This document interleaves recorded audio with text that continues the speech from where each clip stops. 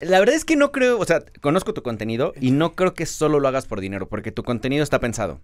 Conocemos, sé que tenemos varios amigos en común o gente conocida en común que sí lo hace 100% por el dinero. Sí, claro. ¿no? Pero sé que tu contenido no, o sea, tu contenido está pensado, tienes buenas cámaras, piensas en la iluminación, piensas en el micrófono, piensas en, en, en, lo que le vas a decir a la audiencia. Es que te digo que sí, sí trato como de, de clavarme un poquito en... Ya, me estoy derritiendo, es que estoy hecho de chocolate, muchachos. Ya me estoy derritiendo. Ah, ¿por qué huele a basura? Yo así con, mis axilas abajo, ¿no? no, no sé, chavos. Este, oigan, aire acondicionado. No, eh, realmente, güey, tengo que, que, que, empecé a buscar como la forma de ir em, como perfeccionando lo que ya hacía, ¿no?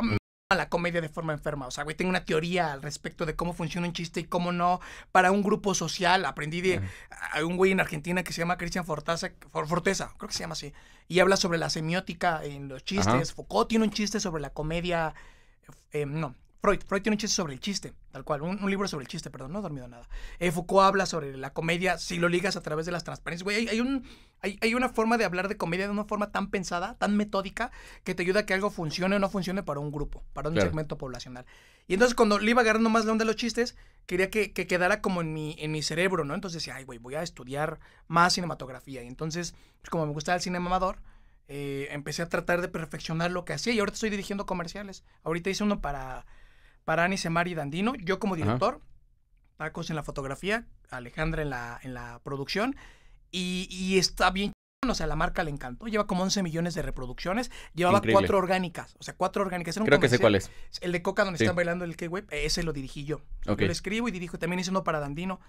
Y, y, luego me llaman otros influencers, ¿no? Me llamo, me llama Senalba, me llama Islas Blogs, eh, me llaman eh, amigos para que les ayude con la creatividad y la realización.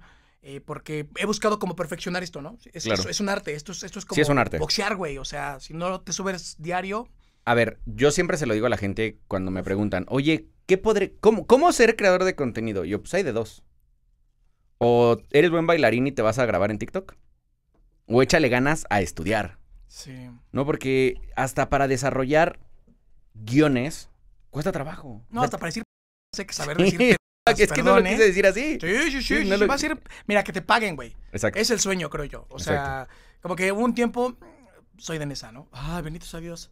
Eso que se escucha son mis intestinos, amigos. este, me dejaron liberarlo. Es el aire acondicionado que ya le pegó. Claro, qué amable eres, muchas gracias. Y se me sale una lágrima, ¿no?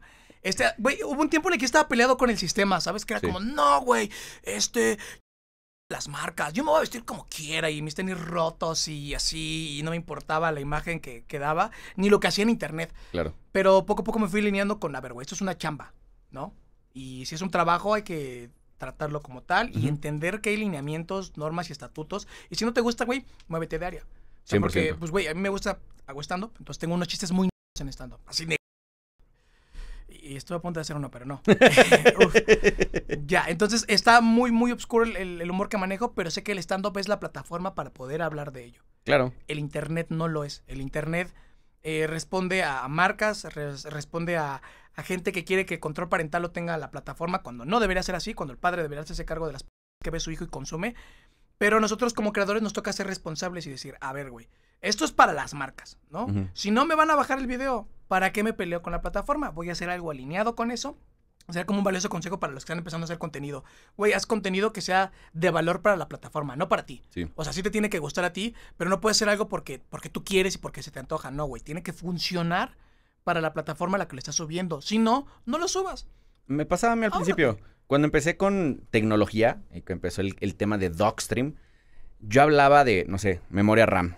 Me aventaba una letanía de por qué es la velocidad de la memoria RAM, qué es las frecuencias, por qué son las latencias, que por qué no sé qué y por qué.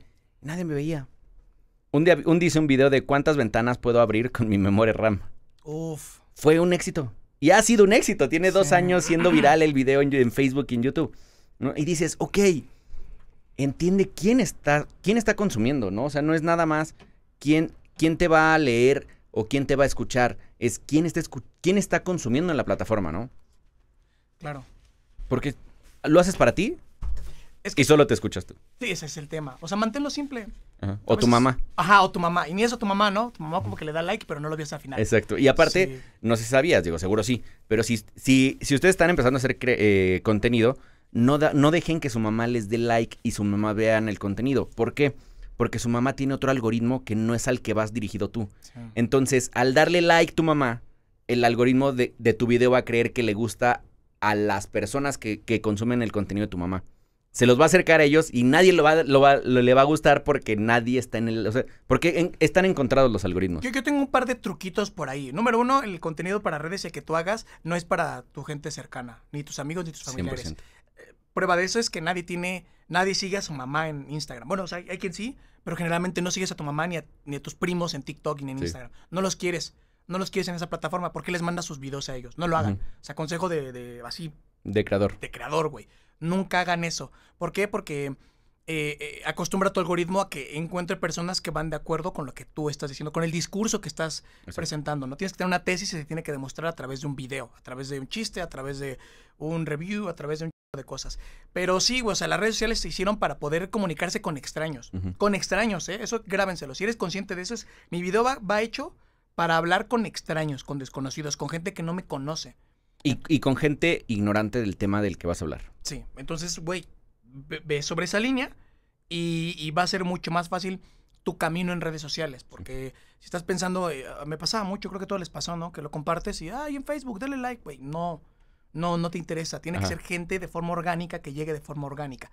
Siento yo. Es mi no, no. Y no es siento yo. La verdad es que creo que tienes el 100% de razón. O sea, cuando la gente se pone a... A mí me ha pasado de, denle like a mi, a mi foto para que... ¿Qué te vas a ganar? O sea, una, te están regalando un solo alaciado. No te lo vas a ganar tú, mamá. ya me lo gané yo. Ah, sí, no Entonces, con todo el que traigo. Es, complicado eh, el, tema de, de desarrollar contenido. Pero ¿cómo le has hecho tú, después de haber estudiado tanto arte, bajarlo, porque no, no quiero decirlo bajarlo de nivel, pero sí es bajar, bajar el lenguaje a redes sociales, porque podría estar haciendo arte de autor. Es que, ¿sabes? Hay una película buenísima de este cine que recomiendo que se llama, creo que es American Fiction. Okay. Trata sobre un escritor tal cual, así lo voy a decir con todas las palabras, no me funen. La palabra es afrodescendiente, porque él eh, utiliza esa frase en el slang. Eh, y entonces toda la vida lleva escribiendo libros maravillosos que nadie lee.